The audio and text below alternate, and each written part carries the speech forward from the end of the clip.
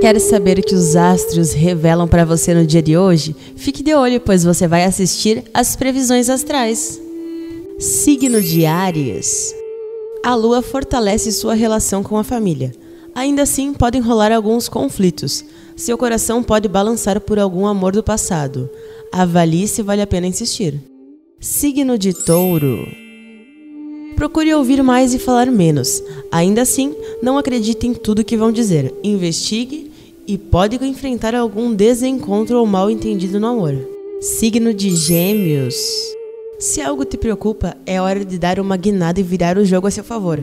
Vá com tudo.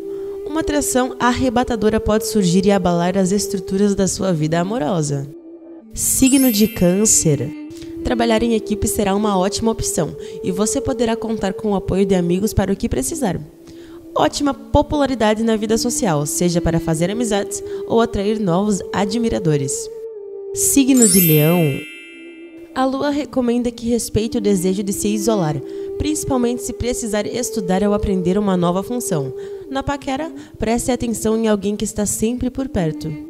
Signo de Virgem pode atrair aliados importantes no trabalho. Para quem está curtindo férias, o céu indica boas viagens, festas, passeios e diversão. Se estiver em companhia de amigos, melhor ainda. Nas paqueras, seu charme será irresistível. Signo de Libra. Se você precisar doar ou descartar algumas coisas, Urano vai ajudar a desapegar agora.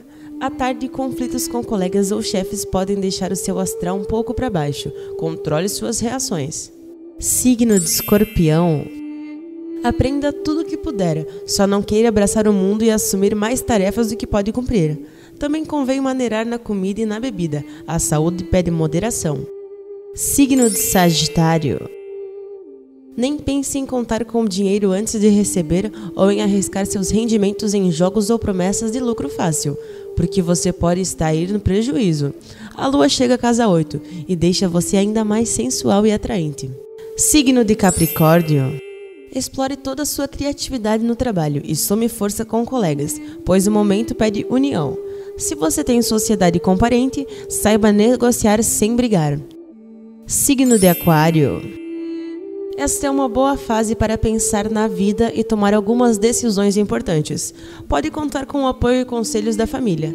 Na paquera, você vai encontrar uma pessoa misteriosa ou comprometida. Signo de Peixes. Controle os gastos e evite esbanjar se não quiser ter problemas nesse setor.